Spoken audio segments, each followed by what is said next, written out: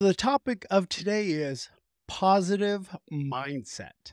I wanted to start with one of my favorite books. It's called Zen Speaks Shouts of Nothingness. There was once a general who asked the Zen master.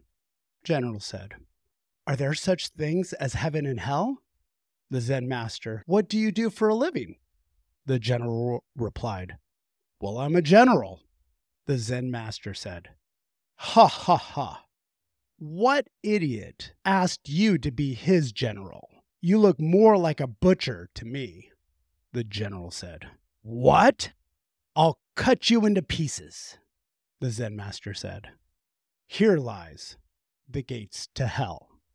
The general said, Excuse me, please forgive me. The Zen master said, Here lies the gates to heaven. Heaven and hell aren't just places that suddenly appear after death. They exist here and now. Good and evil involve just an instant single thought. The gates of heaven and hell are ready to open for you at any time. I'm not promoting religion. I'm just telling my story. I'm just telling you this story because I don't want you guys to get confused by the whole religion thing. What I'm trying to say is everybody has their own belief their own God, their own religion. And those people who don't believe in any of those things, that's their belief, their thoughts. I'm not trying to confuse you on that. I'm just going to tell you the story and take from what you want from it. Growing up, I read about all the religions. And I didn't do extensive, extensive studies, but I wanted to understand a little bit about all of them, just to understand them. I really like this story about the Zen master. Let's just take a moment to think about heaven and hell being right now. If we were to say right now, in today's society, heaven or hell, what do you think it is? I really love this story because I find that some people don't think about the present and they don't consider the fact that what they do right now could be more hell than heaven. They don't take the responsibility for doing the things on earth, the right things. They don't think about when they get really, really old and they don't think about how they're going to have to make up for their mistakes later in life or maybe their regrets. Sometimes you have to take the time to think about all these bad things. Are you have to consider are these bad things? Am I creating my own hell? Have I led myself to a path that may not be heaven like. And heaven doesn't mean just heaven. I'm not talking about going, you know, upstairs. What I'm talking about is just maybe just a positive thing. Are you doing the right things positively? When I was a kid, I grew up and I was a Boy Scout. And there was these this oath that we took. And it was basically a way of life for us. Morals, maybe a set of morals. And I lived by this oath and these laws and these rules, and these rules shaped my life. Trustworthy, loyal, helpful, friendly, courteous, kind, obedient, cheerful, thrifty, brave, clean, reverent. I mean, if you think about all those things, I mean, shouldn't we be some of those things at least? I took it to heart and I thought to myself, am I being trustworthy or loyal or helpful or friendly or curious or kind? Are we even doing those things? Let's take that into consideration. That is my heaven. If I'm doing all those things, I know that I'm doing better. Are you creating your own heaven for your community?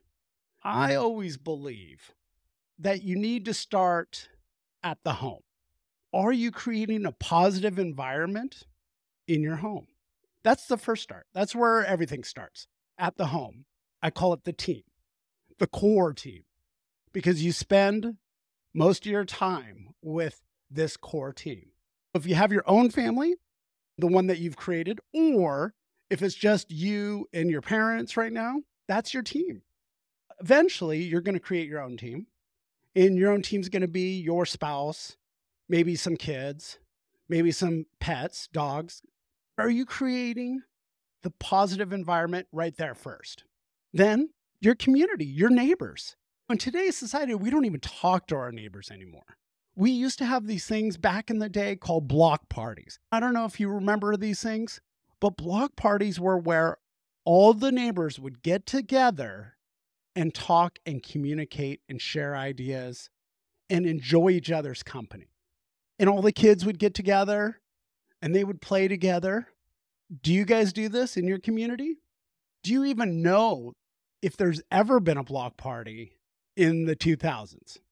I mean, I knew when I grew up it was a great time, but is it a great time for you growing up? Is it getting worse and worse? Is it hell? We need to create a positive environment, having a positive mindset around our team, our community, and then what's next? Maybe our city, then our state, then our country, then the world. I know a lot of people are trying to cure the world and try to fix the world, but really you need to start at the beginning. Are we creating a heaven for our community around us? Here's an example that I just saw during the 2022 World Cup, Soccer World Cup in Qatar. Now, this is a huge soccer tournament that happens every four years. There are 32 countries that compete in this every four years. They're the best 32 teams coming together to play in this world tournament. This year was very special. Let me tell you why. Is because after the game, the Japanese people who went to these games, after the game, they actually brought garbage bags and they cleaned up after all the spectators. Now, they weren't paid to do it, they weren't told to do it, they did it on their own. Win or lose, that's what they did.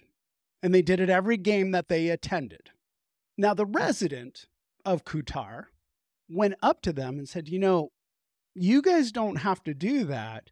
We pay people to go out and clean the stadiums. The Japanese people said, This is a beautiful stadium, and we respect the stadium, and we take care of things we respect. Think about that, guys.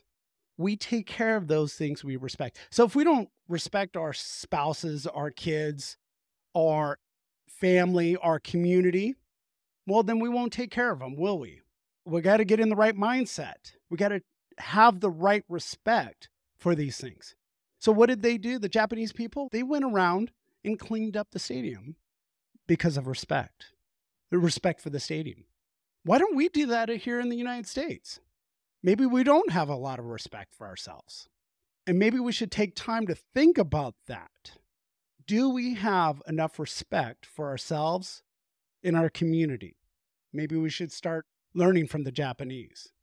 Just saying this story wasn't so much about heaven and hell, the the Japanese and the World Cup. It wasn't about heaven and hell. It was more about positive and negative mindsets. The positive mindset is to do do the right things, to be respectful. That's the positive mindset.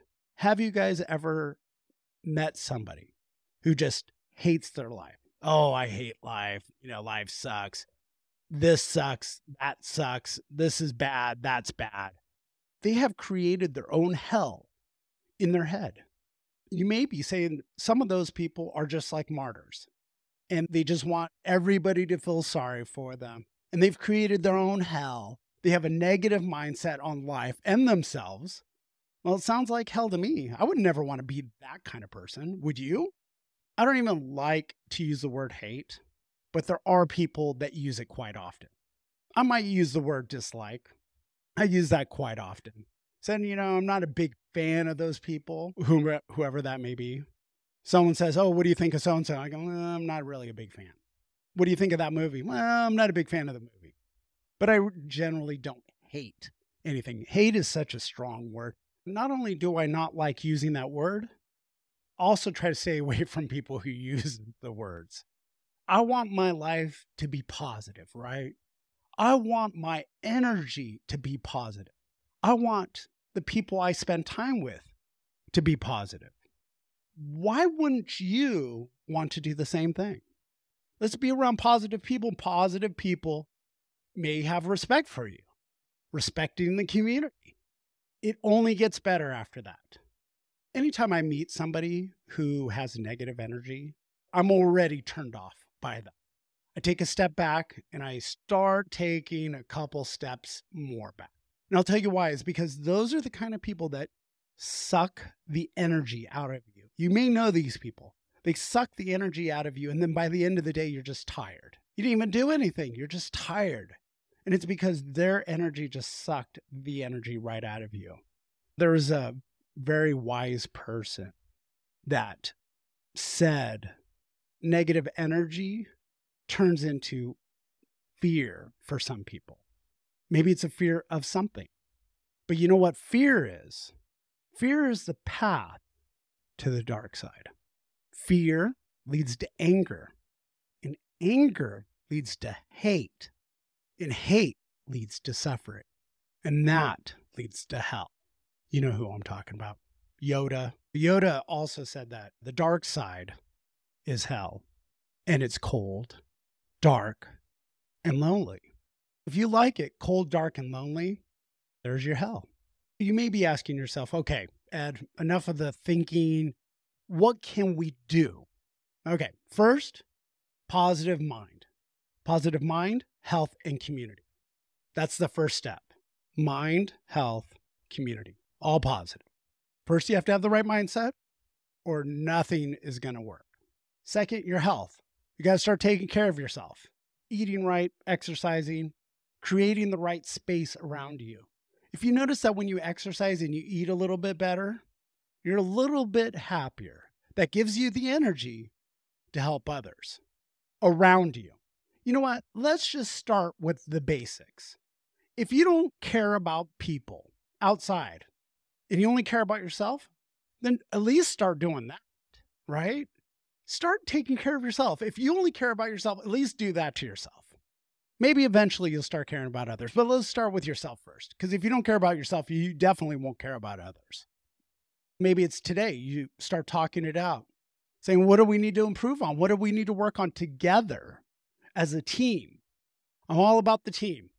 This is what I tell my wife every day. We're, we're a team, we're a unit. And I tell my son the exact same thing. We're a team. We're a unit. We got to work together as a team.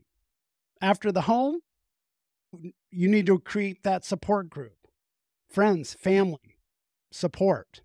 Whoever that may be, we got to push out that positive to bring in more because together we're stronger. Now, the people we need to keep away from that negative energy. It's funny, you go out to your friends and you're looking for them to give you that energy that supportive, positive energy. And that's the people you want around you. But there are people out there, there are friends out there, and sometimes even parents, or maybe grandparents, or uncles, or aunts. The people that should be supporting you, there are people out there that they will be the ones that would rather see you fail so that they feel better about themselves. Have you ever met somebody who sat there and loved seeing other people fail to make themselves feel better. Whenever I find somebody who does something successful or, you know, something great or accomplishes something, even if it's a little bit, I always try to use the words, you know what? Good for them. That's awesome. Because I don't want to take that away from them. No, it doesn't matter who they are. Anytime somebody succeeds in whatever they're doing, good for them. After our friends and family, we got the right crew, the right team together, then we got to work on our community. We work on our community, then our city, then our state, then our country, then the world, then maybe other worlds. Elon, other worlds, right? Then we could create the best heaven on earth and beyond. How would you create your heaven? Take the time to think about it. I know that I have. I've taken the time to think about what do I want?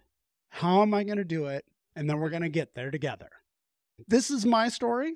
If you love this podcast, please subscribe, share with your friends and family. If you know of anybody that could use it, please share it to them. Thank you all for listening. I'm Coach Ed, and you make your next day great.